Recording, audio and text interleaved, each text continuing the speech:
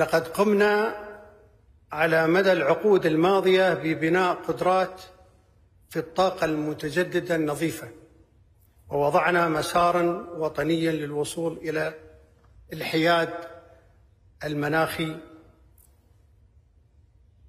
عام 2050 والتزمنا بخفض الانبعاثات بنسبة 40% بحلول عام 2030 واستثمرنا بما يقارب من 100 مليار دولار وتموين العمل المناخي. مع التركيز على الطاقة الجديدة والنظيفة.